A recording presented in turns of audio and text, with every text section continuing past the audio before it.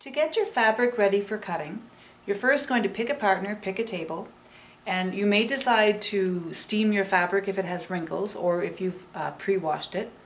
Um, and then you're going to straighten the grain. One person will grab one corner and the other person will grab the opposite diagonal corner and you'll both pull. And then you'll do the same thing to the other side. Grab the opposite diagonal corners and pull. Then you're going to look at your fabric and see if it has any nap or direction. Does it have any words or patterns that have to face the same way? If it does, you're going to have to cut your fabric right across in half and then put the two fabrics good to good so that they're both going in the same direction. Most fabric doesn't have direction, so if yours doesn't, you're just going to take your fabric and fold it in half with the two cut edges together. Turn it around so the fold is at the top and then your two finished edges, your two selvages, are together at the sides. Work through any wrinkles and then take your pattern and don't put it in the center. When you cut it, if you do it that way, you get small pieces on either side. It's better to put it in the top corner and then you have a big piece of fabric left over if you have any problems. So line the fabric up Make sure the grain line is parallel to the selvage, the finished edge. Put on weights to hold it down.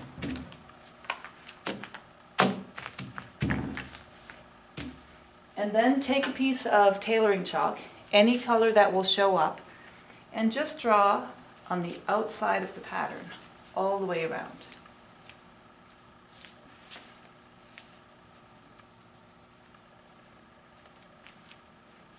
Now, if you pre-washed your fabric, it's not going to shrink. So if you didn't pre-wash your fabric, it's going to shrink about 10%. So you may decide to add a little bit extra, an extra few centimeters, so that when it shrinks, it still fits you in the mid-thigh. Or you may decide if you have extra fabric, you want to go down uh, closer to your knees. So you can extend this line if you choose to. When you're done, take off the weights remove the pattern, and you can use either your black scissors or the silver scissors. I prefer the silver. And you're going to cut just outside that line that you drew. So don't cut off the tailor's chalk, just cut around it. Cut through both layers, because you're going to have two pieces, one for each leg.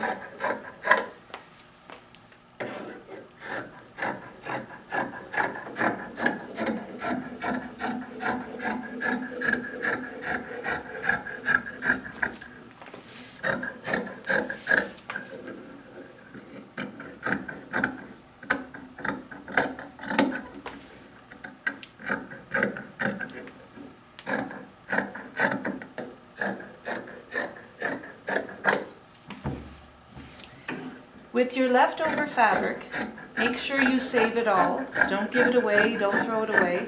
You need to keep it in case you have any emergencies. When you're done, you have two separate pieces that will now need to be serged.